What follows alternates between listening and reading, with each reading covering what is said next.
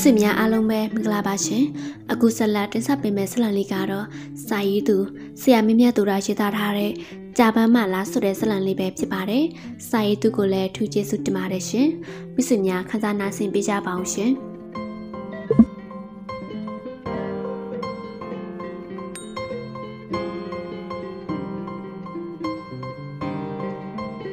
မြမပြည်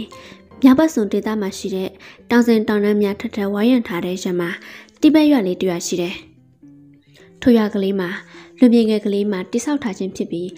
ရွာငယ်ကလေးပင်ဖြစ်စေကမူဖျားကျောင်းစရီပတူစသဖြင့်ရွာတရွာရွာအင်္ဂါရက်နဲ့ပြည့်ပြည့်စုံစုံရှိတယ်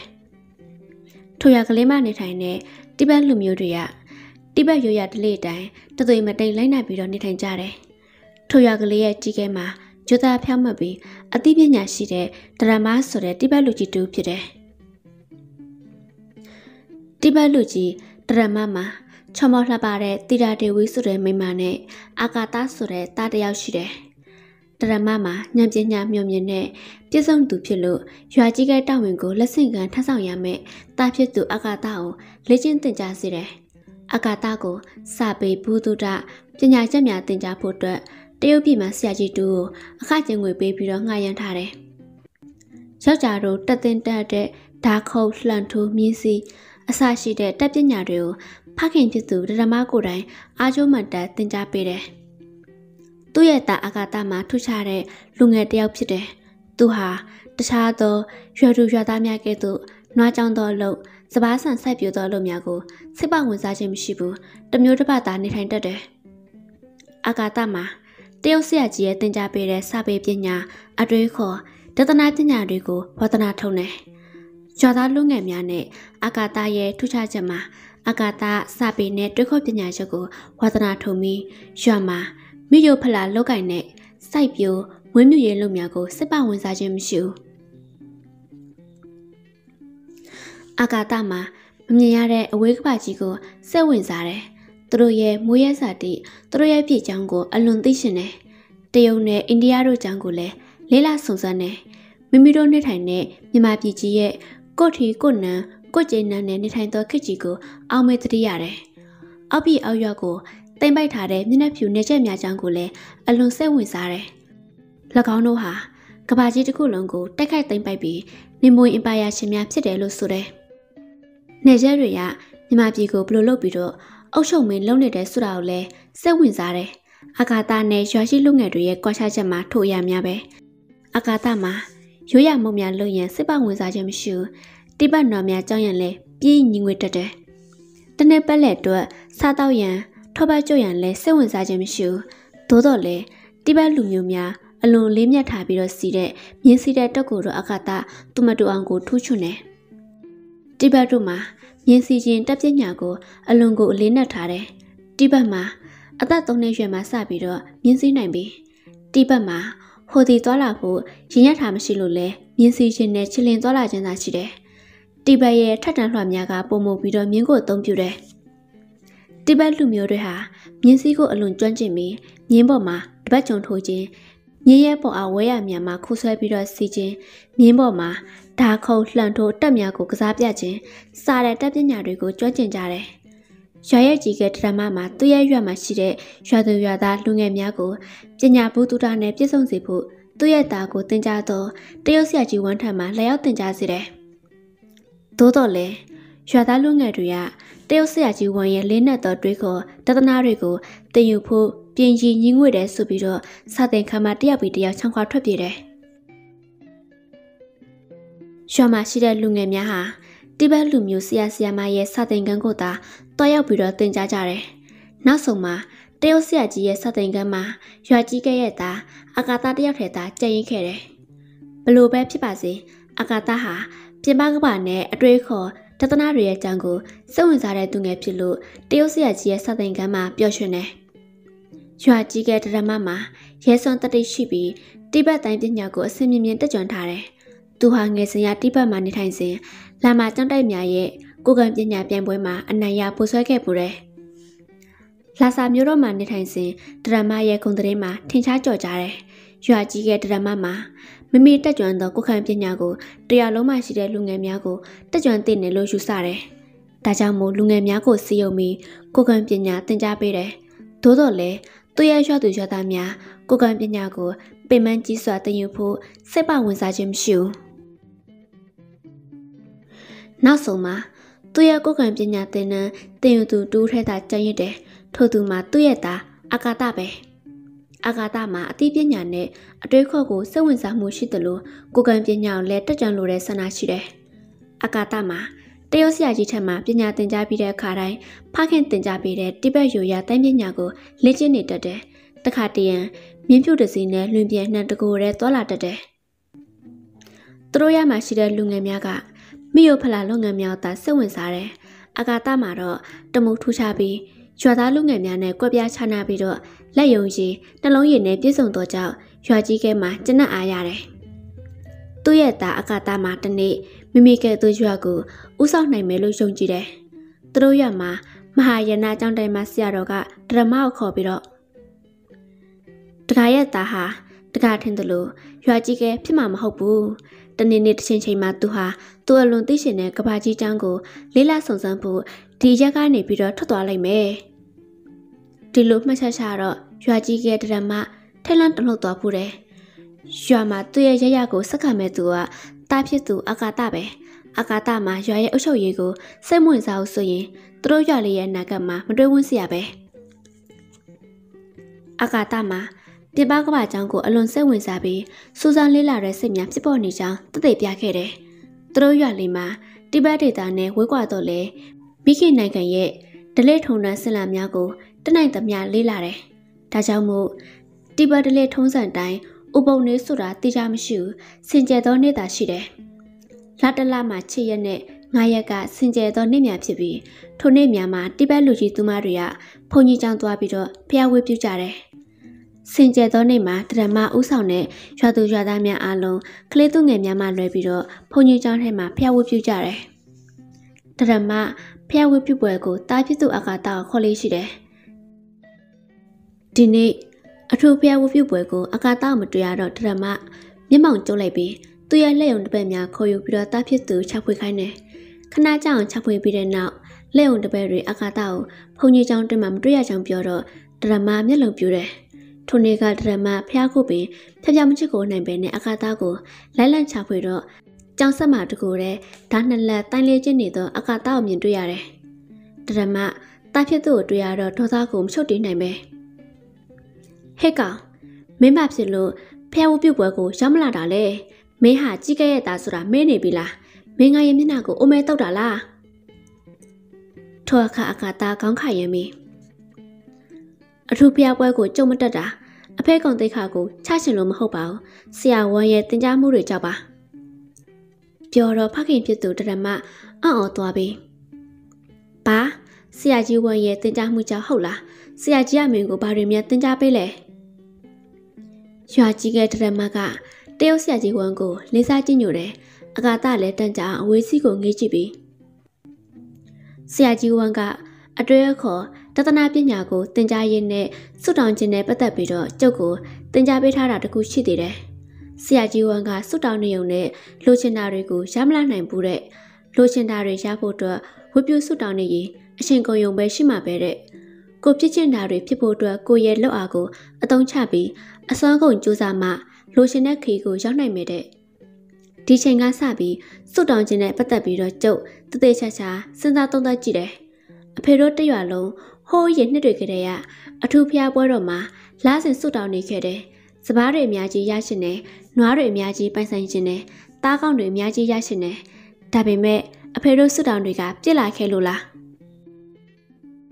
တားကောင်းတွေအများကြီးရရှိရင်ဒူရမှာထိုင်နေလို့မရအောင်တောထဲသွားပြီးတော့ကိုယ်တိုင်ချဖွေဖမ်းနိုင်မှကြမယ်ဆန်စပားတွေကော့ပဲသိနှံတွေအများကြီးထွက်ချင်ရင်လည်းကိုယ်တိုင်စူးစမ်းပြီးစိုက်ပျိုးမှဖြစ်လိမ့်မယ်ဒါကြောင့်စွတ်တောင်းတဲ့လုပ်ကိုကြုံမယုံကြည်တော့ဘူး တလားမှနှစ်ကြိမ်ဖះเจ้าမှသွားပြီးတော့အထူးဖះဝတ်ပြုတ်ပွဲလုပ်ရတာကြုံစိတ်မဝင်စားတော့အဖေပဲပြောခဲ့ပူတယ်လေစစ်မပါတဲ့လုပ်ကိုဘယ်တော့မှမလုပ်လေနေတဲ့ပြောတော့တရမတားဖြစ်သူ့ကိုကြည့်ပြီးပါဇက်ဟောင်သာဖြစ်သွားတယ်ရွာကြီးကတရမတရုတ်ဆရာကြီးကွန်းကို အလွန်လေးစားကြည့်ညိုသူဖြစ်လို့ဆရာကြီးရဲ့စကားကမှားတယ်လို့လည်းမပယ်ချဝင်ဘူးတရမထိုနေ့မှစပြီးတားဖြစ်သူကိုအထူးဖျားပွဲတော်ကိုအတင်အဓမ္မတက်ရောက်ပါရန်ဆွဲတရားဟောခြင်းမရှိဘူး အာကာသမှာတိဘက်ရွာမှာမိတ်ဆွေများဆုံးဖွဲ့နိုင်သူဖြစ်တယ်သို့တော်လည်းသူ့ရဲ့မိတ်ဆွေများတော့တိဘက်များမဟုတ်ပဲသူတို့ရွာနဲ့မနှမ်းကမ်းမှာရှိကြတဲ့ကရှင်မျိုးနွယ်ဝင်လီစုများဖြစ်ကြတယ်အာကာသမှာအလက်တဲ့ချိန်တိုင်းလီစုများထံကိုတွားရောက်ပြီးတော့လက်ပတ်လေးရှိတယ်။တိဘက်လူမျိုးတွေကသူတို့ရိုးရာဒလေးတွေကိုထိမ့်သိမ့်ပြီးတေးကြနေထိုင်တတ်ကြတယ်။သူတစ်ပါးရဲ့မျိုးနွယ်များကိုလည်းစော်ကားခြင်းမရှိပဲအေးချမ်းစွာနဲ့နေထိုင်ကြတယ်။ ရွာကြီးကဒရမဦးဆောင်တဲ့တိဘက်များလည်းတခြားသောအမျိုးနွယ်စုများနဲ့မိဖွဲ့ခြင်းမရှိတော့လဲရံပြုတ်ခြင်းလည်းမရှိဘူး။လီစုကျေးရွာများကိုစတင်လက်ပတ်တဲ့ချိန်မှာအာဂါတရဲ့သက်စနစ်သားရွယ်ခန့်သာရှိသေးတယ်။ထို့အချိန်မှာလီဆိုမျိုးနွယ်စုဝင်ခေါင်းဆောင်များအချင်းချင်းမသိမတင်ဖြစ်တော်ခြင်းလည်းဖြစ်လို့တောင်ပေါ်မှာရှိတဲ့လီစုဒေတာများကိုတွားရောက်လက်ပတ်ခြင်းမှာအလွန်အန္တရာယ်များတယ်။ကံကြောင့်မလှဘူးဆိုရင်အာကာသမှာ အသက်အန္တရာယ်ကိုပင်ရန်ချခြင်းခံရနိုင်တယ်။ဒီနေ့မှာတော့အာကာသပြက်လွှားဆော့ကစားပြီးလီစုရများဘက်ကိုရောက်သွားတယ်။တိဘက်များမှာလီစုများရှိတဲ့တောင်ပေါ်ဒေသကိုတွားရောက်လက်ပတ်ခြင်းမရှိဘူး။အာကာသမှာနွားနောက်ကြီးတစ်ကောင်တွေ့ရလို့အနောက်ကိုလိုက်လံဖန်ဆီးရင်နေမှတံမော်ဒေတာကိုရောက်မှမသိလျှောက်သွားတယ်။အကာတမှာတံပေါ်ရောက်တဲ့အခါမှာပင် လူကြီးများမှားချခဲ့တဲ့စကားကိုအမှတ်ရပြီးကမန်ကရန်တံမော်ကပြန်စင်းဟန်ကြံတယ်။ဒီလိုကြံစီနေစင်မှာပဲရေတကွန်တစ်ခုရနေမှာစောက်ကစားနေတဲ့မိမိနဲ့ရွက်တူလီဆူမင်ကလေး၃ယောက်ကိုတွေ့ရတဲ့အခါမှာသူမတို့ကိုတော့ရောက်ပြီးမိတ်ဆွေဖွဲ့လို့တဲ့စိတ်များဖြစ်ပေါ်လာတယ်။ဒါကြောင့်ရေတကွန်နီးကိုရှောက်သွားပြီးတော့လီဆူပါတာနဲ့နင်တို့၃ယောက်ထဲစော့နေတာလားငါလဲနင်တို့နဲ့ဝင်ပြီးတော့စော့ပြစီ ခွင့်တောင်းတော့လီဆူမင်းကလေး၃ယောက်အကာသားကိုမမျော်လင့်မဲ့တွေ့ရတော့လန့်သွားကြတယ်အကာသားကမန်ကရန်လက်ကပြပြီးငါ့အောင်မကြောက်ပါနဲ့ငါကနင်တို့ရဲ့ရန်သူမဟုတ်ပါဘူးငါကဟိုးတောင်အောက်ကတိဘက်ရွာပါပြောတော့လီဆူမင်းကလေး၃ယောက်နဲ့တယောက်ကနင်ကတောင်အောက်တိဘက်ရွာကဟုတ်လားနင်ဘာဖြစ်လို့ငါတို့ဘာသာစကားတက်ကြွနာလဲငါတို့ကတိဘက်တွေဆိုပေမဲ့ နင်တို့ရက်မှလာပြီးတော့နေတယ်ဆိုတော့နင်တို့ဘာသာစကားကိုလည်းထမင်းစားရတောက်လောက်တော့တက်ကြွရမှာပေါ့နင်တို့နဲ့ငါတို့နဲ့ရင်းနှီးကြောင်းဝင်တဲ့ထိတ်မနဲ့ငါတို့တိဘက်မုတ်တွေကိုနင်တို့ကြွရမယ်ပြောပြီးတေးအိမ်နဲ့ထက်ထားတဲ့တိဘက်ရွရမုတ်တွေကိုလီဆူမင်းကလေးမြောက်ကျွေးမွေးတယ်လီဆူမင်းကလေး၃ယောက်မှာအာကာသကျွေးမွေးတဲ့ဆလာမုတ်များကိုစားတော့ပြီးအလွန်သဘောကျဟန်နဲ့ချီးမွမ်းတယ်။ဒီနောက်အာကာသနဲ့လီဆူမင်းကလေး၃ယောက်ခင်မင်ကြီးနှင်းတင့်မြတ်သွားတယ်။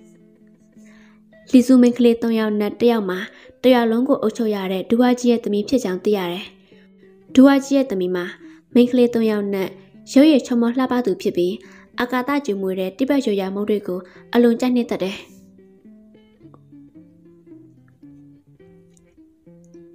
အာဂါတာထိုနေရမိန်းကလေး၃ယောက်နဲ့တူပျော်ရွှင်စွာဆော့ကစားတယ်။ညနေဆောင်တဲ့အခါမှာဒူဝါကြီးရဲ့သမီးမိန်းကလေးက ငါတို့ပြန်တော့မယ်အာဂါတာ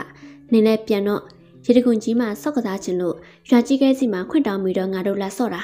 မကြမီရွာကကြိုထောက်တဲ့လူတွေရောက်လာလိမ့်မယ်။နေရမုတ်တွေကိုဆက်ရတာတကယ်ကိုအရသာသိရှိတယ်။ငါတို့ကရှင်ရိုးရမုတ်တွေကိုလည်းနင့်ကိုပြန်ကြွေးရှင်တယ်။လာပြင်းနေရလို့ရှိရင်နင်ဒီရတကွန်ကြီးကိုနင်လာခဲ့လေနင်းကငါတို့ပြန်ပြီးတော့ကချင်ရိုးရမုတ်တွေနဲ့ကျွမွေးရှင်နေဘလို့လဲ ပြောတော့အကတာမင်းကလေးကိုဝမ်းသာအားရကြည့်ပြီးနင်တကယ်ပြောတာလားနင်တို့ရဲ့မုတ်တွေကိုငါ့ကိုပြန်ကျွေးမယ်ဟုတ်လားဒါဆိုရင်တော့ငါဆက်ဆက်ပြန်ပြီးတော့လာခဲ့မယ်နင်တို့ငါ့ကိုမုတ်တွေများကြီးကျွေးဖို့သာကြံထားပြီတော့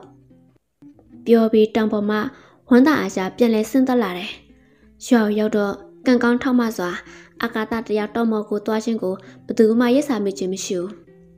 အာကာသလာပြင်းနေကိုကြောက်ဖို့နေ့စဉ်စောင့်မျှော်ပြီးတော့စိတ်ဆော်တယ်သူဟာ လာပြင်းနေကိုကြောက်တော့မိဘနှစ်ပါးကိုဆန်းချောင်းထဲမှာတနေ့ကုန်ငါးသွားမျှမယ်လို့ကြောင်းပြပြီးလီဆူများရှိတဲ့တောင်ပေါ်တက်ခဲ့တယ်တိဘက်ရွာနဲ့လီဆူရွာများမှာအလန်းကွာဝေးလာလို့တောင်ပေါ်ကိုရောက်အောင်အတန်ကြောင်သွားရတယ်တောင်ပေါ်ရောက်တော့ရေတကွန်ရှိရကိုမှန်ပြီးတော့သွားလာခဲ့တယ်ရေတကွန်ရောက်တော့သူနဲ့ချိန်ဆုပ်ထားတဲ့မိကလေး၃ယောက်ကိုမတွေ့ရလို့မျက်မှောင်ကျုံမိတယ်အာကာသလီစုမင်းကလေးတွေကျွေးမယ်ဆိုတဲ့မုတ်ကို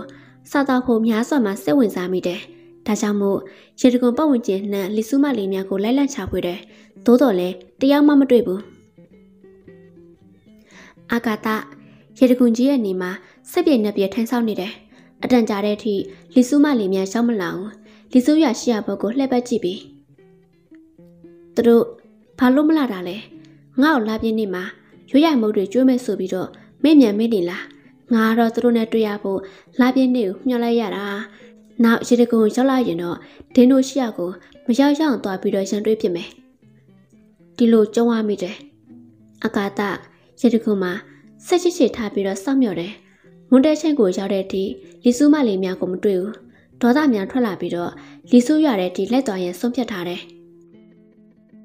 အကာတဒေါသလျောက် လီစုရတဲ့ကိုသွားဟန်ပြင်းတော့လေ၎င်းတို့တိပတ်များအနေနဲ့လီစုရကိုဝင်ရောက်လေမရှိလို့ရွာထဲကိုရောက်လို့ရှိရင်အထူးဆန်းဖြစ်မှတေးကြတယ်လို့တွေးမိတယ်။အကာတာလီစုရနီကိုရောက်တော့ရွာကိုကရန်ထားတဲ့တစ်လုံးတကားကြီးပိတ်ထားလို့မျက်မှောင်ကျုံမိတယ်။ထို့စဉ်လီစုရမှာတိုင်းရင်သားချင်းချင်းနေမြေလူတော်တိုက်ပွဲများဖြစ်ပွားတတ်လို့ရွာစီယိုးကိုတစ်လုံးဖြည့်ခိုက်မှစွာကရန်ထားလိရှိတယ်။ ရွာဝင်ထွက်တကားမကြီးကိုတော့များသောအားဖြင့်ဖွင့်ထားလေးရှိတယ်။အခုတော့ရွာဝင်ထွက်တကားမကြီးကိုပါပိတ်ထားလို့အကာတာရွာထဲကိုဝင်ရမကြတော့ဘူး။အကာတာရွာစီယိုနီမှာမကျင်မနဲ့ထိုင်ချလိုက်ပြီးမိမိကိုလာပြင်းနေမှာရိုးရမုတ်တွေကိုကျွေးမဲ့ဆိုပြီးတော့လက်ညှသွားတဲ့လီဆူမလေးတွေကိုမကြင်မချမ်းဖြစ်မိတယ်။သူဟာရွာထဲကိုရောက်သွားပြီးမိမိကိုမုတာပြောသွားတဲ့လီဆူမလေးများကိုစကားစစ်ထိုးချင်မိတယ်။ ထိုခိုက်မှာပဲရွာကိုကာယံထားတဲ့တကားမကြီးပွင့်လာလို့အာကာသကြောက်တော်ရဲ့နောက်ွက်မှာဝင်ပုံးတယ်။ထိုအခါရွာထဲမှာဒုတ်တာ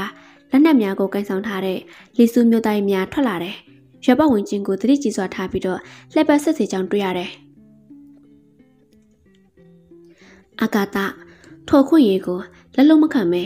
ပွင့်နေသောတကားမကြီးကိုကောက်ွယ်ပြုတ်ပြီးပေါအောင်နေတယ်။ဒီနောက်မိမိကိုလီစုမြမတွေ့အောင်ဆိုပြီးပုံကွက်ပြီးတော့ ချင်းဆုပ်ထားတဲ့မိန်းကလေး၃ယောက်ကိုလိုက်လံချဖွေတယ်။မိမိနဲ့ချင်းဆုပ်ထားတဲ့လီစုမိန်းကလေးတစ်ယောက်မှာလူမျိုးစုကောင်းဆောင်ဒူဝါကြီးရဲ့တမင်ဖြစ်ကြောင်းသိရလို့ရွာထဲမှာရှိတဲ့ထိန်နူးလို့ခေါ်တဲ့အချစ်လျားဆုံးသောအင်ကြီးကိုလိုက်လံချဖွေတယ်။လူမျိုးစုကောင်းဆောင်ဒူဝါများကထိန်နူးလို့ခေါ်တဲ့အလွန်ချစ်လျားတဲ့အင်ကြီးများမှာနေထိုင်လေးရှိတယ်။အာကာတမိန်းကလေး၃ယောက်ကိုရန်တွဲလို့တော့ကြောင့်နေခင်ကြောင်တောင်ကြီး လီဆူရတွင်ကိုအန်ဒီယကိုပင်ဂယုမဆိုင်ပဲနဲ့ခလေးပစ်ပြီးအရဲစွန့်ပြီးတော့ဝင်ရောက်ခဲ့တယ်။သူဟာတပင်းချုံတွေများကိုကောက်ွယ်ပြုတ်ပြီးလူမျိုးစုကောင်းဆောင်ဒူဝါကြီးရဲ့အိမ်ကြီးကိုချင်းကပ်ခဲ့တယ်။ရွာရဲ့လက်မှာအရှိလျားဆုံးသောအိမ်ကြီးကိုမြင်တွေ့ရတော့ဒူဝါကြီးရဲ့အိမ်ဖြစ်မယ်ဆိုတာကိုရိပ်စာမိတယ်။ဒူဝါကြီးရဲ့အိမ်ထဲမှာလက်နက်ကင်လူများအလိုများပြချောင်းတွေ့ရတယ်။အကာသလည်းအိမ်ထဲကိုတတဆိတ်ခိုးဝင်နိုင်ရန် မိမိနဲ့ချင်းဆုပ်ထားတဲ့မိန်းကလေးကိုတွေ့လိုက်မယ်လို့မျှော်လင့်တယ်။ဒါကြောင့်ခြံတွင်းကိုခိုးဝင်ပြီးတော့တောင်ကြီးတစ်လုံးမှာဝင်ရောက်ပုံကွယ်တယ်။ထော်ခိုက်မှာပဲမိမိပေါအောင်နေသောတောင်ကြီးရဲ့နေကိုလက်နက်ကင်လူများရောက်လာပြီးတောင်းတွေကိုအင်အားကိုချွေမယ်ဟိ။အာကာတာတောင်းထဲမှာပုံနေပြီးတော့လန့်သွားတယ်။လူနှစ်ယောက်ကတောင်းလို့တလုံးကိုအိမ်ထဲကိုချွေပြောင်းပြီးတော့အာကာတာပေါအောင်နေသောတောင်းကိုမက်ကင်ပစ်တယ်။ထို့အခါတောင်းမှလေးလန့်နေလို့ လက်နက်ကင်လူလည်းအလွန်ကိုအံ့ဩပြီးဟင်ဒီတောင်းထဲမှာအရက်ကြည်တာတွေထည့်ပေးတာကိုဒီနေ့ညတော့ငါတို့တွေအရာဝါတရတော့မယ်ဟဲ့ပြောပြီးတော့တောင်းကိုတော့မကြည့်ပဲအဲရဲ့အောက်ထပ်ကိုတက်ဆောင်သွားတယ်အကာတလည်းတောင်းထဲမှာငြိမ်ပြီးတော့ပါသွားတယ်လက်နက်ကင်လူများတောင်းကိုအဲအောက်မှာချတာပြီးတော့ပြန်လဲထွက်ခွာသွားတယ်အကာတထိုသူများထွက်သွားတော့တောင်းဖုံးကိုဖွင့်ပြီးတော့ကြည့်တယ်အင်ကြီးရဲ့သတင်းပေါ်မှာကြောက်တက်ပြီးအခန်းများကို တခါဝင်တခန်းထွက်လိုက်လန့်ချဖွေတယ်။ထိုရင်ကြီးတွင်းမှာလိုက်လန့်ချဖွေနေစဉ်အဆောက်ချက်များကိုတွေ့ရတော့နေရခန်းထဲမှာပုံခိုရတယ်။အင်ကြီးရဲ့နောက်ဘက်အစွန်ဆုံးခန်းကိုအင်လာတက်အခန်းဖြစ်ထားရှိတယ်။အင်လာတက်ဆိုဒီမှာအပြိုလူပြိုများရင်းနှီးကျွမ်းဝင်စွာတွဲဆုံရတဲ့အခန်းဖြစ်တယ်။အချစ်ဘက်စွန်ဆုံးခန်းမှာမနန်ထန်းခေါ်တဲ့အခန်းဖြစ်ပြီးနတ်ပွဲမနောပွဲလက်ထမင်္ဂလာပွဲအစရှိတဲ့ပွဲများကို အရဲနောက်ဖက်မှာကျင်းပလေးရှိတယ်။အကာတတခါဝင်တခန့်ထွက်ချဖွေပြီးအင်ကြီးရဲ့နောက်ဖက်အစွန်ဆုံးမှရှိတဲ့အင်လာတက်မှာမိန်းကလေးငယ်များစကားပြောတဲ့ကြရလို့အခန်းထဲကိုချောင်းကြည့်တော့မမမီကိုချင်းဆုပ်ထားတဲ့ဒူဝါကြီးရဲ့သမီးနဲ့မိန်းကလေးနှစ်ယောက်ကိုမမျှော်လင့်မဲ့တွေ့ရတယ်။အကာတမိန်းကလေးသုံးယောက်ကိုမြင်တွေ့ရတဲ့အခါမှာစိတ်ကိုမထိနိုင်ပဲနဲ့အခန်းထဲကိုပြေးဝင်သွားပြီ။ဟေ့မင်းတို့ငါ့ကိုရိုးရမုတ်တွေကျွေးမဲ့ဆိုပြီးဘာဖြစ်လို့ရောက်မလာခဲ့တာလဲ။ ခြေတကုံဘေးမှာတနေကုန်စောင့်နေပြီးစိတ်မချလို့လိုက်ခဲ့တာ။ဒီလိုပြောတော့မိန်းကလေးအကာတကိုအံ့ဩစွာကြည့်ပြီးဒူဝါကြီးရဲ့သမီးကဟင်နင်ဘလို့လုပ်ပြီးတော့ငါတို့ရွာထဲကိုရောက်လာခဲ့ရတာလေနင့်ကိုလူကြီးတွေမြင်တော့နင်တက်ခံရလိုက်မယ်လူကြီးတွေကငေါ့ဘာလို့တက်ရမှာလဲငါ့ကိုနင်တို့ကလာပြင်းနေမှာရိုးရမုတ်တွေကျွေးမဲ့ဆိုပြီးတော့ဖိတ်ခေါ်ထားတယ်ရေတကွန်အောက်မှာငါနင်တို့ကိုတနေကုန်စောက်တယ် နင်တို့ရောက်မလာလို့ရွာထဲကိုလိုက်လာခဲ့တာငါမှပြစ်ရှိလားငါလက်ထဲမှာလက်နက်ဆိုလို့အတုလေးတစ်ချောင်းတော့မရှိဘူးနောက်ပြီးတော့ငါဟာလူကြီးလည်းမဟုတ်ဘူး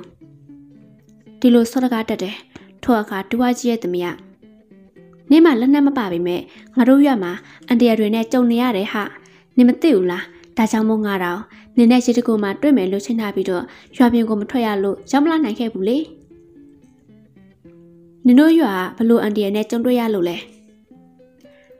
ငါတို့မျိုးနွယ်စုချင်းချင်းတိုက်ပွဲဖြစ်နေတယ်ငါတို့ရွာချိန်မရွေးရန်သူနဲ့တွဲဆုံနိုင်တယ်ဒါကြောင့်မို့ဒီရွာတကားမကြီးကိုပိတ်ထားတာနေရွာထဲကိုဘလို့လုပ်ပြီးတော့ဝင်လာခဲ့တာလဲဒီလိုမေးတယ်ထော့ကအကာတာသူ့ကိုယ်သူကိုယူဟန်နဲ့လက်မထောင်ပြီးနင်တို့ရွာကစီယိုတွေဘလောက်ပဲလုံးလုံးငါကတော့မြေရှိုးမိုးပြတ်ပြီးတော့ရောက်လာနိုင်တယ်ကဲငါ့ကိုရွရမုတ်တွေကျွေးမယ်ဆိုပမလဲကျွေးလေ ဒီလိုမေးမြန်းတော့မိန်းကလေး၃ယောက်အနေရချားမှရောက်နေတာတောင်မှရွရမုတ်တွေကိုတဲကြီးမဲကြီးစားရှင်နဲ့သူ့ကိုကြည့်ပြီးတော့အံ့ဩစွာနဲ့ဖြစ်နေကြတယ်ဒူဝါရဲ့သမီးကနင်ဒီလောက်တာမှုတ်စားရှင်တော့လောလောဆယ်တော့နင့်ကိုကျွေးစရာမိခင်ထားတဲ့တမင်ပေါင်းတစ်ချောင်းရှိတယ်ပြောတော့အာကာသတမင်ပေါင်းဆိုတဲ့တောင်ကြားလို့အလွန်ကိုသဘောကျမိပြီတမင်ပေါင်းရှိတယ်ဟုတ်လားဒါဆိုရင်အမြန်သွားယူလေတမင်ပေါင်ကိုဟော့ဒီမီလင်းဖို့လေးပေါ်မှာကင်မီတော့စာရင် မှု့ကြိုင်သွားမှာပြောတော့ဒူဝါရဲ့သမီးအကာတာကိုမျက်နှာချုံမဲ့ပြီးတော့ကြည့်တယ်။နင်ဟာလေအစာတော့အတော့တရနဲ့ဒီလောက်အတန်းတရတွေများတဲ့ကြားထဲကငါတို့ရကိုရအောင်လာပြီးတော့မှုတ်စာဖို့ကြိုးစားတယ်နော်။မဟုတ်ပါဘူး။အစာတော့မလုံလို့နင်တို့နောက်ကိုလိုက်ခဲ့တာမဟုတ်ဘူး။နင်တို့နဲ့တွေ့ပြီးတော့ကစားချင်လို့ငါတို့အိမ်ကြီးထဲမှာတော့ဆောက်လို့မရဘူး။အိမ်ထဲမှာလူကြီးတွေအားလုံးလှုပ်ချုံနေကြတယ်။ ဆောက်လို့မရအောင်ဆိုရင်လည်းမစုံ။နင်တို့ငါ့ကိုကျွမ်းမဲ့ဆိုတဲ့တမင်ပေါင်သွားယူဒီလိုခိုင်းနေမင်းကလေးတယောက်အိမ်နောက်ဖေကိုသွားပြီးတော့တမင်ပေါင်ယူလာတယ်တမင်ပေါင်မှာတော်တန်ကြီးပြီးတော့စားချင်းစပွဲဖြစ်နေလို့အကာသတရေယူလာတယ်မင်းကလေးတူလှမ်းပေးတဲ့တမင်ပေါင်ကိုယူပြီးတော့သူ့ရဲ့ရှေ့မှာရှိတဲ့မင်းလင်းဖို့မှာမိမြိုက်တော့တမင်ပေါင်ကအစီများတဝင်းဝင်းကျလာပြီးစားချင်းစပွဲမှု့ပြန်လာတယ်အကာသတမင်ပေါင်ကြည့်ပြီးတော့ဒီဘက် ဥပဒေတာများကိုတိကျလိုက်နာတဲ့ဖခင်ကိုတတိယမိတယ်ထိုအခါဒူဝါကြီးရဲ့သမီးကတမင်ပေါင်စားချင်စားလေဘာလို့မြန်ကြောင်နေတာတော့ဒီလိုပြောတော့အာကာသတက်ပြင်ချပြီငါအဖေကိုတတိယလို့ပါဗျာငါတို့တိဘတ်ဒေတာတလိษံတွေကိုတက်ဖြတ်ပြီးတော့စားတော့လေးမရှိဘူး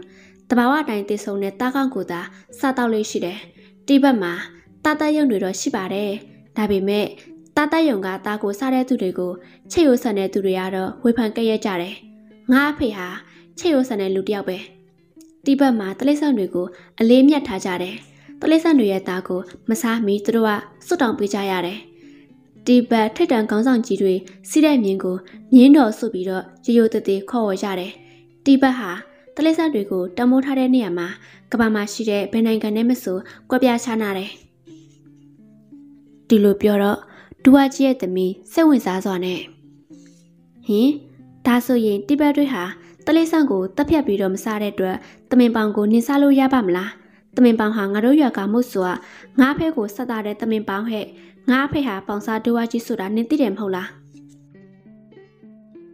နေရဖဲဟာပေါင်စားဒူဝါကြီးဆိုတာငါသိပါတယ်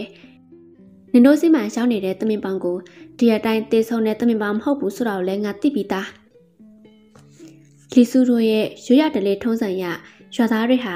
၎င်းတို့အမဲလိုက်ပြီးတော့ရှားတဲ့တလိษံပံကိုဒူဝါကိုဥစွာဆက်သားရတယ်။အမဲလိုက်ပြီးတော့ရရှိတဲ့တလိษံရဲ့ပံကိုဒူဝါကိုဆက်သားခြင်းမရှိပါကရွာလူကြီးများပါဝင်သောဖွဲ့မှပြင်းထန်သောပြစ်ဒဏ်ကိုပေးလေးရှိတယ်။အာကာသ၎င်းရဲ့လက်မှာရှိတဲ့တမင်ပေါင်မှာတဘာဝတိုင်းရှိသောတမင်ပေါင်မဟုတ်မှရိတ်စာမိတယ်။သို့တော်လည်းအာကာသဖတ်ခင်လိုချက်ရိုးဆန်သူတရားမဟုတ်လို့ တိဘက်တို့ရဲ့ရွရဒလေးများကိုလိုက်နာတက်ရှင်မရှိဘူး။ဒါကြောင့်မို့အာကာသတမင်ပေါင်ကိုတစ်ချက်တစ်ချက်ကိုက်ပြီးတော့ရှင်မောတယ်။တမင်ပေါင်ကြီးကိုမိနဲ့ကင်ပြီးစားရှင်းစပွဲမှွှေးကြိုင်တဲ့ခါတော့တမင်ပေါင်ကြီးကိုငါမစားဘူးဆိုရင်ငါလောင်မိုက်တဲ့သူရှိပါဦးမလားတမင်ပေါင်ကိုမစားဘဲနဲ့တော့လက်လွတ်ဆုံးချုံမခံနိုင်ဘူးဒီလိုမျိုးလက်လွတ်ဆုံးချုံခံမယ်ဆိုရင်ငါငတ်ရုံပဲရှိမှာပေါ့ငါကအဖေနဲ့စိတ်သက်ချင်းကတော့စန့်ကျင်ဘက်ပဲ ရတော့ရခဲစခွင့်ရတဲ့တမင်ပေါင်ကိုအာရပါရကြီးကိုစားအောင်ပါငါတို့လူမျိုးတွေရဲ့တလိษံနဲ့ပတ်သက်တဲ့အယူဝါဒတွေဟာခင်မရှိတော့ဘူးလို့ငါထင်တယ်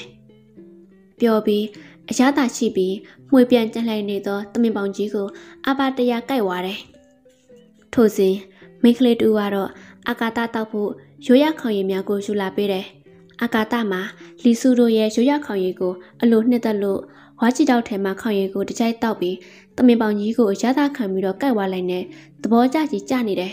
။မိခလေး၃ယောက်မှာအာကာသစားတော့ပုံကိုကြည့်ပြီးတော့သဘောကျဟန်နဲ့ရှီမောနေကြတယ်။ထော်ခိုက်မှာပဲဒူဝါကတော့ဒူချံမှာအင်လာတက်ထဲမှာထွက်ပေါ်လာတဲ့တန်ကိုကြားရလို့အင်လာတက်ထဲကိုဝင်ရောက်လာတယ်။ဒူဝါကတော့ဒူချံအင်လာတက်ထဲကိုရောက်တော့ခေါင်ရည်ကြည်တော့များကြားမှာထိုင်ပြီးတမင်ပန်ကိုကိုက်ဝါနေသောအကာတော့တွေ့ရတော့ ကိုမျက်လုံးများကိုမယုံနိုင်ပဲမျက်မှောင်ကျုပ်ပြီးတော့ထိတ်လန့်စွာနဲ့ရန်သူရန်သူရောက်နေပြီရန်သူဆိုပြီးတော့အော်တယ်ထွက်အခါအင်ကြီးထဲမှာရှိတဲ့ဒူဝါကြီးရဲ့စောက်ချက်များဒူချန်ရဲ့အော်တုံကြတော့အင်လာတက်ထဲကိုဂမူရှူတို့ပြေးဝင်လာကြတယ်။ထို့အခါခေါင်ရည်ကြည်တော့များလင်မှာထိုင်ပြီးတမင်ပေါင်ကြီးကိုကိုက်ဝါနေတဲ့တိဘက်ကလေးငယ်ကိုတွေ့ရတယ်။ဒူဝါကြီးရဲ့စောက်ချက်များမမျော်လင့်ပဲအဲ့ခန့်ထဲမှာ တိဘက်ကလေးငယ်ကိုတွေ့ရတော့ထိတ်လန့်အံ့ဩတယ်။ဘာကြောင့်လဲဆိုတော့ချန်စီယိုးကိုထထကရန်ထားပြီးရွာထဲမှာအဆောက်ကြအထူဆုံးဖြစ်သောဒူဝါကြီးရဲ့အိမ်ထဲကိုမာတီကလေးငယ်ရောက်လာတော့ကြောက်ပဲ။အကာသအင်လာတက်ထဲကိုဂမူရှူတို့ပြေးဝင်လာတဲ့စောက်ချက်များကြည့်ပြီးနှလုံးဖွဲ့ပြုံးပြပြီးတော့ခေါင်ရင်ကြီးတော့ကိုမြှောက်ပြီးခမရတို့ခေါင်ရင်တော့ကြပါအောင်လားဆိုပြီးတော့ဖိတ်ခေါ်တယ်ထိုအခါ လက်နက်ကင်စောက်ချက်များအကာသကိုပါဇက်ဟောင်းသားနဲ့ကြည့်နေမိကြတယ်ဒူချာမှာအကာသကိုလက်ညှိုးညွှန်ပြီးဟဲ့ကောင်လေးနေမတူလဲအစောက်ချက်တွေဒီလောက်များတဲ့ကြားရွာထဲဝင်ပြီးတော့အင်လာတက်မှာစားတော့နေရတာလေပြောစမ်းဒီလိုမေးတယ်ထော်ကအာကာသဒူးချမ်းကိုကြည့်ပြီးဒူးချမ်းရဲ့သမီးတွေဖိတ်ထားလို့လာပြီးတော့စားနေတာပေါ့မယုံရည်သမီးတွေကိုမေးမြန်းကြည့်ဒီလိုပြောတယ်ထော်ခိုက်မှာပဲ အင်လာတက်တွင်ကိုဒူဝါကြီးဝင်ရောက်လာတယ်သူရတဲ့ဘက်များနဲ့တူအာကာသကိုအထိတ်တလန့်ကြည့်မိတယ်ဒူဝါကြီးအာကာသကိုလက်ညှိုးထိုးပြီးဟဲကောင်လေးမင်းဘသူလဲဘာကြောင့်အင်လာတက်ထဲဝင်ပြီးတော့ခေါင်ရည်တွေတမင်ပေါင်တွေကိုစားရတာလဲဒီလိုဒေါသတကြီးအော်မိတယ်ဒူဝါကြီးရဲ့မိကွန်းကြောင့်လက်အောက်ငယ်သားများအားလုံးတုံးလုံးချောက်ချသွားတော့လေအကာသမှာတုံးလို့ခြင်းမရှိပဲကျုပ်ကဒူဝါကြီးရဲ့သမီးက ရွရမှုတ်တွေကျွေးမဲ့ဆိုပြီးတော့ရေတကုံမှာဖိုက်ထားတယ်ရေတကုံရောက်တော့ဒူဝါကြီးရဲ့သမီးကိုမတွေ့ရတဲ့အတွက်ရွာထဲကိုအရဲဆုံပြီးတော့လာခဲ့တာပဲဒီလိုပြောတယ်ဒူဝါကြီးမှာဒီလောက်ထိလုံခြုံရေးထထကိုကာယံထားတဲ့သူ့ရရွာစီကိုထထကိုကြော်ပြတ်ပြီးတော့အိမ်ထဲကိုပဲရောက်လာနိုင်တဲ့တိပတ်လူငယ်လေးကိုအလွန်ကိုအံ့ဩစွာနဲ့ကြည့်မိတယ်။ဒူဝါကြီးအာကာသကိုမြုံနှိမ်စွာနဲ့ကြည့်ပြီးဟိတ်ကောင်လေးမင်းတိပတ်လေးမဟုတ်လား ရွာထဲကိုဘလို့လုပ်ပြီးတော့ကြွကြောက်ဝင်လာခဲ့တာလေမင်းအန်တရမဖြစ်ရှင်ရင်ငါမေးတာကိုမှန်မှန်ပြောထောအခါအာကာသကြောက်ရွံ့ဟန်မရှိတဲ့ပြင်ရဲရင်တော်မူရာနဲ့ရွာထဲကိုဝင်ရောက်ခဲ့တဲ့နေလန်းတွေကိုပြောပြတယ်ဒူဝါကြီး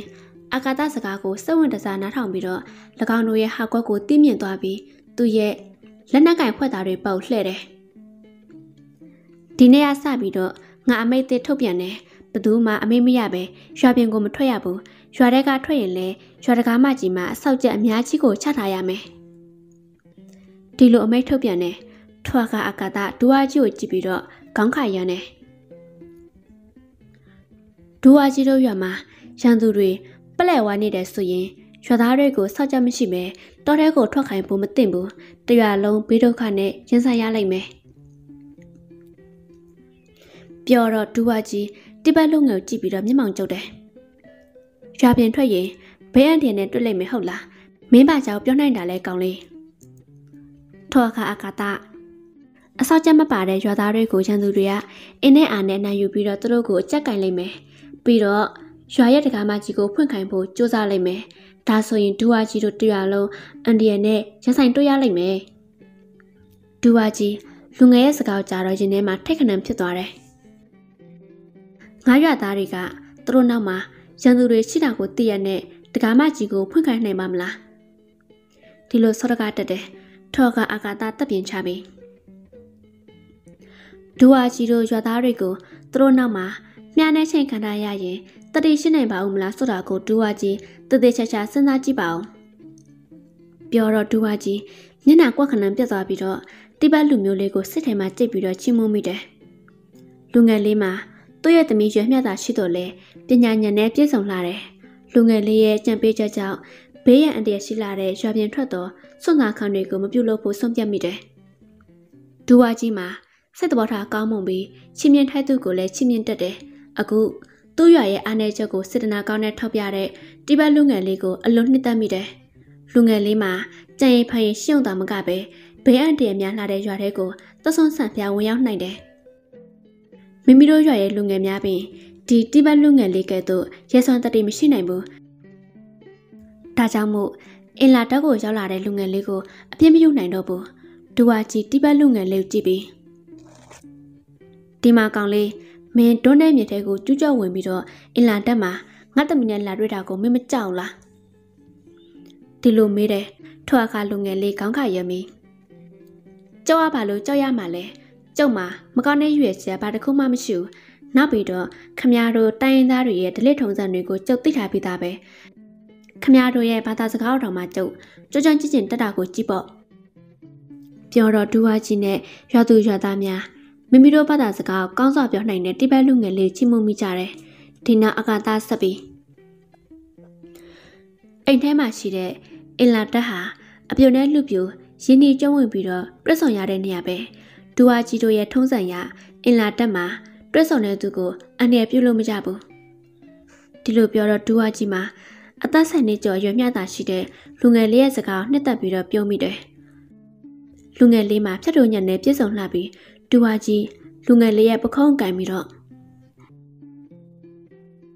အင်လာတက်မှာအပြိုလူပြိုတွေပဲချင်းဆိုပြီးတွက်ခွင့်ရှိတာကွမင်းကလည်းလူပြိုရွယ်မရောက်သေးဘူးငါရဲ့သမီးကလည်းအပြိုရွယ်မရောက်သေးဘူး ဘာပဲဖြစ်ဖြစ်ဒူဝါကြီးရဲ့သမီးကကျုံနဲ့တငယ်ချင်းဖြစ်နေပြီးသားပဲကျုပ်ကိုရိုးရမုတ်တွေကျွေးဖို့အတွက်ဖိတ်ထားတဲ့အတွက်ကျုပ်အင်လာတက်အုပ်လာခဲ့တယ်ကျုပ်မှဘာဖြစ်ရှိလို့လဲထွားခါအာကာသရဲ့စကားကိုနားထောင်နေတဲ့ဒူဟာကြီးရဲ့နောက်လိုက်နောက်ပါတွေမှာရဲဝံတော်မူရာကိုသဘောကျဟန်နဲ့ရှင်မောကြတယ်။ဒူဟာကြီးလူငယ်ရဲ့ပခုံးကိုပုတ်ပြီးတော့ရှင်မောတယ်။မင်းရဲ့တတိကိုတော့ချီကျူးပါတယ်ကွာ။ဒါကြောင့်လေ အင်လာတက်ထဲကိုကျူးကျော်ပြီးဝင်လာခဲ့တာကိုအပြစ်မယူတော့ဘူး။မင်းငါသမီးနဲ့အေးအေးဆေးဆေးခေါင်းရည်တော့တမင်ပေါင်စားပြီးတော့နေနိုင်တယ်။နောက်လေကြုံရင်ငါတို့ရောက်ကိုဝင်လဲလှဲ့ပါ။မင်းအတွက်ရွာတကားကိုဖွင့်ထားပေးတယ်။ဟင်ကျုပ်တရွာကိုလာလည်လို့ရတယ်ပေါ့ဒါဆိုရင်ဒူဟာကြီးရဲ့တမနဲ့တွေ့ရအောင်ကျုပ်ခဏခဏလာလည်မယ်ထိုအချိန်မှစပြီးအကာတာအားလက်တဲ့ချိန်တိုင်းမှာလီဆူရွာလေးကိုတွားရောက်လည်ပတ်တက်တယ် လီဆူရွာကိုပထမဆုံးတွားရောက်တယ်ဆိုတဲ့သတင်းကိုဖခင်ရကြတော့အလွန်ကိုအံ့ဩသွားပြီးတော့မင်းကတော့မိုက်မဲတာပဲငါတို့နဲ့လီဆူတွေဟာရန်သူတွေမဟုတ်ကြပေမဲ့မိတ်ဆွေလိုလည်းမရင်းနှီးဘူး။ဘာကြောင့်လဲဆိုတော့ငါတို့တိဘက်တွေဟာမြန်မာပြည်မှာလာနေတဲ့ဧည့်သည်တွေပဲ။ဧည့်သည်နဲ့အင်ဂျင်နှစ်ရှည်လမ်းများပြဿနာမဖြစ်ခင်ကင်းကင်းနေတာကောင်းတယ်။ဧည့်သည်နဲ့အင်ဂျင်နိနိကကနေချင်းပြဿနာမျိုးစုံဖြစ်ပေါ်လာနိုင်တယ်။ နောက်ပြီးတော့ဒီချိန်ဟာလီဆူမျိုးနွယ်စုတွေအတွက်အလွန်ကိုအန်တရာများတဲ့ချိန်ပဲ။သူတို့မျိုးနွယ်စုဝင်ချင်းချင်းနေမြေလှူတဲ့တိုက်ပွဲတွေဖြစ်ပေါ်နေတယ်။ဒီချိန်မျိုးမှာတိဘက်တယောက်နေနဲ့လီဆူရတွေကိုလက်ပတ်ဖို့ဆိုတာအန်တရာသိပ်များတယ်။လီဆူးတွေမင်းကိုအန်တရမပေးတာတဲ့ဥကန်ကောင်းတဲ့ငါသားဒီလိုပြောတော့အကတာလီဆူးတွေဟာကျုပ်ကိုအန်တရမပြုတ်လီဆူးကောင်းဆောင်ကြီးကဆိုရင်ကျုပ်အတွက်လီဆူးရွာကတကားဖွင့်ထားတယ်လို့တောင်မှဆိုတယ် ကျုပ်ကိုလည်းလီဆူးရွာကိုမကြာခဏလာလဲစေပြီးတော့သူ့တမီနဲ့ကစားခွင့်ပြုတယ်ပြောတော့တိပတ်မြန်အားလုံးအာကာသကိုအောင့်အော်စွာနဲ့ကြည့်ပြီးဖြစ်ချောင်းကိုစင်ကိုတယောက်တစ်ပေါင်မင်းမြန်းကြတယ်။အာကာသလည်းဖြစ်ချောင်းကိုစင်အားလုံးပြောပြပြီးစကားဆုံးတော့ဖခင်ရမင်းကန်တိတ်ထူတဲ့ငတ်တာဘာပဲဖြစ်ဖြစ်လီဆူရှင်ချင်းနေမြေလူတိုက်ပွဲတွေဆင်နွှဲနေတဲ့အချိန်မှာတော့သူတို့စီကိုသွားမလဲသေးဘူး မင်းအတွက်အန်တရတွေရှိလာနိုင်တယ်ပြောပြီးတော့ဖခင်မှာလီဆူများထုံကိုတွားရောက်လက်ပတ်ချင်းကိုတားမြစ်တယ်သို့တော်လည်းအာကာသမှာအနေရရှိတဲ့ရက်ကိုပဲစွန့်စားတွားရောက်လို့တဲ့စိတ်ရှိတယ်ဒါကြောင့်မို့လီဆူများရဲ့ရွာကိုတက်တကူသွားပြီးတော့လှည့်ပတ်တယ်လီဆူရွာမှာရှိတဲ့ဒူဝါကြီးမှာအာကာသရဲ့ဉာဏ်ပညာထက်မြက်ပုံကိုသဘောကျလို့ရွာရဲ့အထူးဧည့်သည်တော်ဖြစ်သတ်မှတ်ပြီးတော့လက်ခံတယ် အာကာသလီဆူရွာကိုရောက်လို့ရှိရင်ဒူဝါကြီးရဲ့သမီးနဲ့ဆော့ကစားလေးရှိတယ်ဒူဝါကြီးရဲ့သမီးမှာ၎င်းတို့ရဲ့မျိုးနွယ်ချင်းမတူတော့လေအာကာသကိုတော့အလွန်ခင်မင်းတယ်အာကာသကိုသူတို့ရွာကိုမကြမကြလာလဲရန်ဖိတ်ခေါ်မိတယ်အာကာသရောက်တဲ့ခါတိုင်းမှာရိုးရမုံတွေကိုကျွမွေအခန့်လေးရှိတယ်အာကာသမှာလီဆူတို့ရဲ့ခေါင်ရည်ကိုနှစ်သက်ဆွဲလန်းပြီးတော့မုတ်ဆိုများမဲလိုက်လို့ရရှိတဲ့တောင်စိတ်တောင်လည်းဆွဲလန်းနေမိပြီအာကာသရဲ့ဖခင်ဒရမမှာ လီဆူရွာကိုတားဖြစ်သူတက်တခိုတောရောက်လက်ပတ်ချင်းကိုရစ်စာမိသွားတယ်သို့တော့လေတစွတ်ထိုလုံတက်တဲ့တားဖြစ်သူအာကာသကိုတားဆီးရမလွယ်ကူလို့သူ့ရဲ့စိတ်ကိုချော့ထားလိုက်တယ်အာကာသမှာလီဆူရွာမှာရှိတဲ့ရွယ်သူကလေးငယ်များအားလုံးနဲ့ရင်းနှီးကျွမ်းဝင်တဲ့လူငယ်များကအာကာသတက်ကြွထားတဲ့ထူဆန်တဲ့တက်ပညာတွေကိုလွန်စွာချီးကျူးတယ်။အာကာသမှာလူငယ်များနဲ့စုံနိုင်တရုတ်ဆရာကြီးထံမှတင်ယူထားတဲ့မျက်လှည့်ပြကွက်များကိုပြသလေးရှိတယ်။ တိုင်းရင်သားအများစုဟာရိုးသားသူများဖြစ်ကြတယ်။အာကာသပြတဲ့မျက်လှည့်ပြကွက်များကိုအလွန်စိတ်ဝင်စားပြီးတော့ကြည့်တယ်။တချို့သောကလေးတွေကတော့အာကာသကိုတကိုးရှင်တစ်ပါးလို့ထင်မြင်ကြတယ်။အာကာသမှာသူ့ထူရှားဆန်းကျက်သူတူဝက်ဖြစ်စိတ်ဝင်တစားရှိတဲ့လီဆူမြရဲ့လက်မှာနေထိုင်ရခြင်းကိုအလွန်ပြောချင်တယ်။လီဆူမြရဲ့အမြင်မှာအာကာသထူရှားဆန်းကျက်ပြီးအမှန်တကယ်ပင်အစွမ်းထက်တယ်။အာကာသဟာအမျော်မြင်ကြည်လာတဲ့ဖခင်ရဲ့ကျေးဇူးကြောင့် တရုတ်ဆရာကြီးရဲ့တင် जा မှုများခံရတယ်။ဆရာကြီးမှာတရုတ်ပြည်မှာကြီးမှာနေထိုင်စဉ်ကနန်တွင်တိုင်းဆရာကြီးတယောက်ဖြစ်ခဲ့တယ်။ပြီးတော့လက်ယုံချစ်တာမကပဲနှလုံးရည်ပါပြည့်စုံသောပညာရှင်တူလည်းဖြစ်တယ်။ဆရာကြီးမှာဒီမကြီးမှမပြောဘဲနဲ့ဝေးလန့်ခေါင်တည်ပြီးစီနေများဖုံးလွှမ်းနေသောမြမပြည်မြောက်ပိုင်းမှာနေထိုင်ခြင်းကအော့ဖို့အလွန်ကောင်းတယ်။အာကာသရဲ့ဖခင်တရမကတော့ဆရာကြီးမှာလှုပ်ဝက်သော အတိတ်စကြောင်တစ်ခုရှိတယ်လို့ဆိုတယ်။ဆရာကြီးကသူ့ရဲ့တိတ်ကိုမေ့လျော့ပြီးဒီလိုမျိုးတိပတ်များကြမှာပျော်မွေးနေပုံကြတယ်။ပြီးတော့ဆရာကြီးဟာအာကာသရဲ့ပုံမှာလဲတပည့်သားသမီးကဲ့သို့တယုံစင်တွင်နေမိတယ်။ဆရာကြီးမှအာကာသကိုလက်ရုံရည်ပညာနဲ့ပြည့်စုံပြီးတော့တိုက်ရိုက်ခရည်ပညာနဲ့ပတ်သက်ပြီးလဲဂျွန်ဘာတက်မုတ်ဆိုတက်တို့ကိုသင်ကြားပေးတယ်။နှလုံးရည်နဲ့ပြည့်စုံစေဖို့ တရုတ်စပေတိဘတ်စပေနဲ့တွေးခေါ်မျိုးစုံကိုသင်ကြားပေးတယ်။ထို့အပြင်ကြပြလင်ကဆက်ခြင်းလက်ရည်လှရည်ခြင်းပကြည်ဆွဲခြင်းတို့ကိုလည်းသင်ကြားပေးတယ်။သို့တော်လည်းအာကာသမှာအနုပညာနဲ့ပတ်သက်သောကိစ္စများမှာလေ့လာသင်ကြားရန်ဝါသနာမထုံလှဘူးဆရာကြီးမှနောက်ပိုင်းတော့အာကာသရဲ့ဆရိုက်ကိုရစ်စာမိသွားပြီးပကြီးရေးဆွဲခြင်းနဲ့လက်ရည်လှခြင်းတို့ကိုသင်ကြားခြင်းမရှိတော့ဘူး တရုတ်ဆရာကြီးမှအာကာသကိုနှက်ဆိုင်သောတွေးခေါ်တသနာမျိုးမျိုးကိုသင်ကြားပေးလေးရှိတယ်ဆရာကြီးမှအာကာသရဲ့ပြမှုတွေကိုထောက်ပြပြီးသင်ပြပေးလေးရှိတယ်